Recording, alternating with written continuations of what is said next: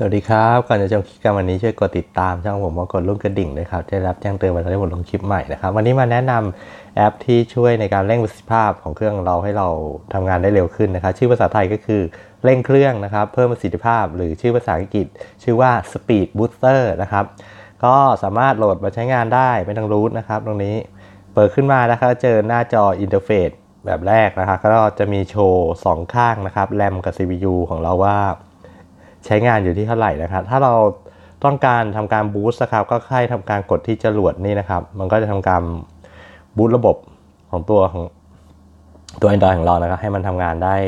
เร็วขึ้นนะครับ รอสักครู่หนึ่งนะครับ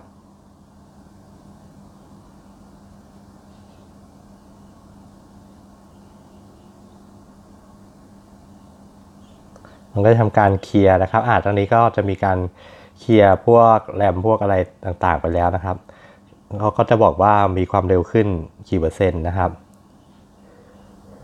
ถ้าเราต้องการให้มันทำการเร็วขึ้นมากกว่านั้นนะครับ ก็แนะนำให้กดปุ่มเปิดใช้งานตรงนี้นะครับ จะเป็นการทำให้ตัวแอปเนี่ยทำงานได้ละเอียดมากขึ้นนะครับ แล้วก็เลือกมาที่นี่แล้วก็เลือกมาที่ Speed Booster เลือกมาที่บริการนะครับ เปิดนะครับอ่าเปิดเสร็จแล้วก็อย่าลืมเช็คดูนะครับว่า Speed Booster ตรงนี้จะต้องเป็นเปิดแล้วนะครับ โอเค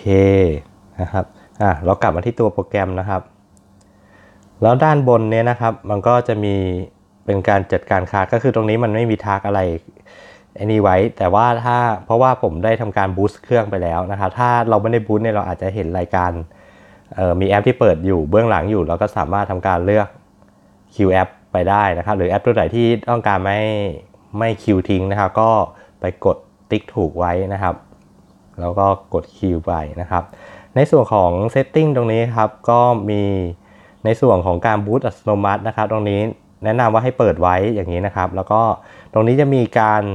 ทำการตั้งเงื่อนไขการบูตอัตโนมัตินะครับ แนะนำว่าให้ตั้งตรงนี้ไว้นะครับ การใช้งานแรมสูงเนี่ยก็คือถ้ามันแรมมันใช้ไปเยอะมากๆเนี่ยมันจะบูตอัตโนมัติทันทีนะครับ เงื่อนไขถัดมานะครับก็คือ ตอนเวลาที่อุปกรณ์พักการทำงาน เช่น ตอนที่เราล็อกหน้าจออย่างเงี้ยนะครับ หรือไม่ได้ใช้แอปอะไรเงี้ย วางเครื่องไว้เฉยเนี่ยมันก็ทำการบูตการทำงานนะครับ หรือจะตั้งเป็นเงื่อนไขเวลาก็ได้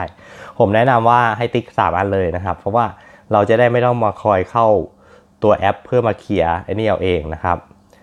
เครื่องของเราเนี่ยมันจะได้มีประสิทธิภาพการทำงานที่ดีตลอดเวลานะครับ ไม่ต้องมาคอยเข้ามาในแอป เพื่อมาเคลียร์เองนะครับ แล้วก็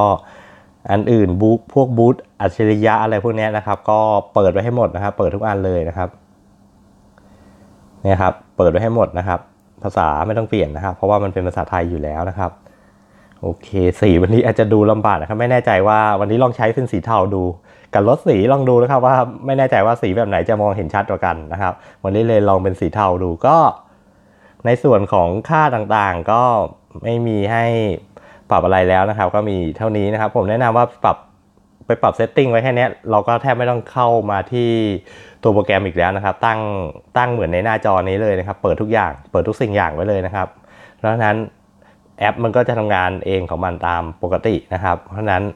เครื่องเราก็จะเร็วอยู่ตลอดเวลานะครับ โอเค ขอให้ได้รับประโยชน์จากคลิปนี้นะครับ แล้วก็ใครที่เห็นว่าคลิปนี้ประโยชน์อย่าลืมกดไลค์กดแชร์นะครับ แล้วก็อย่าลืมกด subscribe พร้อมกดติดตาม กดลูกกระดิ่งด้วยจะได้รับแจ้งเตือนเวลาที่ผมลงคลิปใหม่ แล้วพบกันใหม่ในคลิปหน้า สวัสดีครับ